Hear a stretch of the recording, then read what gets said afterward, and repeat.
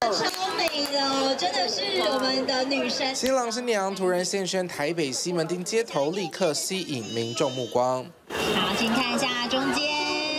哎，原来是艺人周小涵啦，露出小蛮腰，还戴白色头纱。一旁周孝安则穿上西装，帅气登场。两人比出爱心 pose，散发粉红泡泡，就是重现我们正式正片里面结婚的造造型这样子。那小涵其实是他比较有巧思了，我比较特别，因为我觉得今天的活动是办在西门町嘛，然后我当然第一个觉得这个行动上比较方便。我穿裤装呢，会让他比较可以追不到，是吧？就是哎。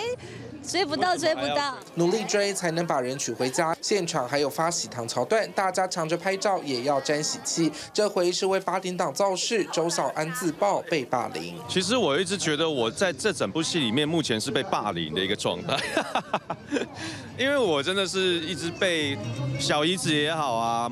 岳母也好，我妈妈也好，都在打压。这其实我看起来好像很可怜，但其实是有点乐于乐在其中。被骑在头上，周少安过去常演的霸道形象，在里头或许看不太到。身为女生，周小涵对这部戏则心有戚戚焉。我只能说，当媳妇真的好难，好难，好难。我看了之后，我就更害怕结婚。真的要，真的要加油。我觉得媳妇真的是不容易耶，因为。很多婆婆会觉得媳妇把自己的儿子抢走了，会有这种心情。如何在婆家求生存，让婆婆觉得多一个女儿？写实剧情或许将让不少观众心有戚戚焉。TVB 新闻庄启文寻台北报道。掌握全球情势、国际新闻，全新选择 YT 频道 TVBS 国际 Plus，扩大视野。欢迎订阅并开启小铃铛。